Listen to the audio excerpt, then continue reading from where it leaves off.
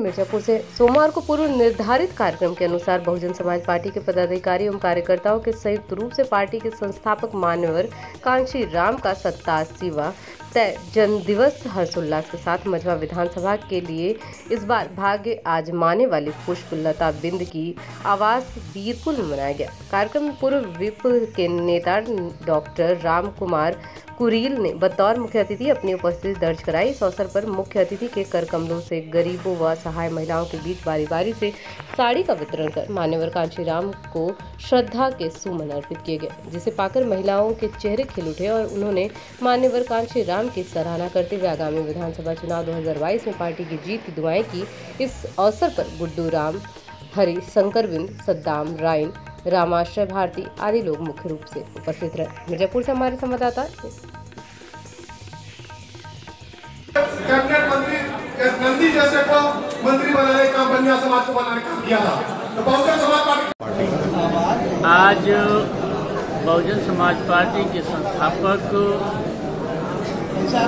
मानवर काशीराम साहब का सत्ताईसवां जन्मदिन। सत्तासीवां जन्मदिन पूरे उत्तर प्रदेश के साथ साथ सारे देश में हर्षोल्लास के साथ मनाया जा रहा है। क्योंकि जिन महान पुरुष मानवर काशीराम साहब की बदौलत ये बहुजन समाज अपने पैरों पर खड़ा करने के लिए लाखों लाख हज़ार किलोमीटर साइकिल चलाकर पद यात्रा कर कर इस दबे कुचले शोषित गुलाम बेचारा बेसहारा सर्व समाज के भाइयों को जगाने का काम किया और अपने पैरों पर खड़ा होने के लिए हम लोगों को आगे बढ़ाने का काम किया।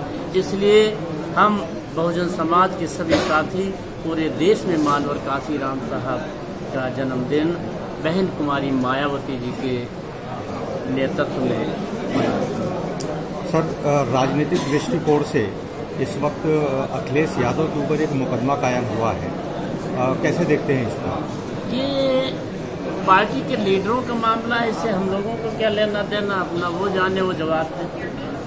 लगता है कि सर उत्तर प्रदेश की सरकार विकास के लिए काम कर रही है और समाज हित में काम कर रही है?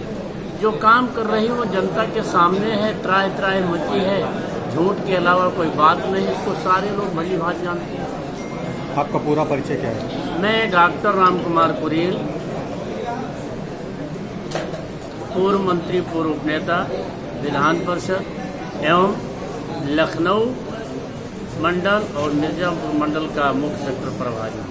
ममता बनर्जी का, का जो घायल हुई थी उसको कैसे देखते हैं सर राजनीतिक दृष्टिकोण से? ये बड़े लोगों का मामला बड़े लोग जानेंगे हम लोगों से क्या लेना देना हम लोगों को बहन जी और बहुजन समाज पार्टी की रीति नीति को पहुँचाने के लिए जहाँ की ज़िम्मेदारी दी जाती है वहाँ की हम लोग बात करते से हमको को लेना देना आरक्षण पर हाई कोर्ट ने अभी जो रोक लगा दी है चुनाव को लेकर त्रिस्तरीय चुनाव को लेकर क्या इस